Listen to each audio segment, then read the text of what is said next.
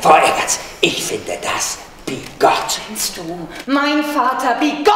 Und jämmerlich. Diese Leute sind jämmerliche Karikaturen. Er ist einer der Publikumslieblinge in den Münchner Kammerspielen. Stefan Merki hier in Jeeps, einer Uraufführung der Münchner Autorin und Regisseurin Nora Abdel Maksud. Eine rabenschwarze Komödie mit einem brisanten Thema. Im Jobcenter ist die Hölle los. Und Stefan Merki spielt Armin. Er heißt Armin und er ist äh, der gefühlte Chef des Jobcenters. Er hat ein äh, bewegtes Leben hinter sich. Er war mal sehr ein Kümmerer. Er hat sich sehr äh, bemüht um Leute und ist dann irgendwann, äh, ja, ist dann irgendwie verzweifelt. Er hat wirklich sein eigenes Geld weggegeben, aber das erfährt man erst später, das darf man eigentlich gar nicht erzählen. Äh, aber er ist jetzt quasi ein harter Hund geworden im Jobcenter. Aber nicht ganz so hart wie sein Kollege. Heute verdient er 3212 Euro brutto im Monat. Ich verdiene 4.602 Euro, zusätzlich Weihnachtsgeld und zweimal Funktionsstufe 2. Jeeps ist eine bitterböse Satire mit viel Tiefgang und hohem Unterhaltungswert.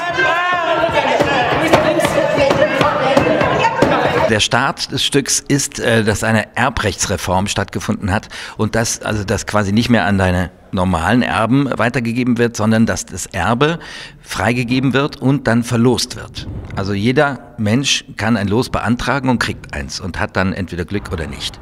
Es kommen Leute, die äh, eigentlich was geerbt hätten, dann aber eben nichts kriegen, die sind jetzt auch auf dem Jobcenter. Und es sind natürlich die Hartz-IV-Empfänger, sind äh, Langzeit, hier ein Hartz-IV-Schamane, das ist ein Langzeitempfänger. Äh, oder ist das halt, als Musiker sowieso nicht so einfach. Ja. Hey! Bereits mit 17 Jahren vollendete sie ihren ersten Groschenroman.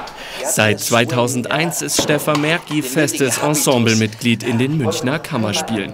Hier fühlt sich der gebürtige Schweizer so richtig zu Hause. Weil ich es hier äh, nach wie vor unglaublich interessant finde und weil die Arbeiten toll sind und weil die Kollegen äh, ähm, sich ändern. Das ist wirklich lustig. Ich bin quasi geblieben, aber es kommen immer neue Leute dazu und äh, ganz aufregende Sachen passieren, finde ich. Also ich habe auch natürlich in den 20 Jahren mal überlegt, sollte ich noch mal woanders hingehen und so und habe aber immer geguckt, wohin zieht's mich und es hat mich immer hierher gezogen.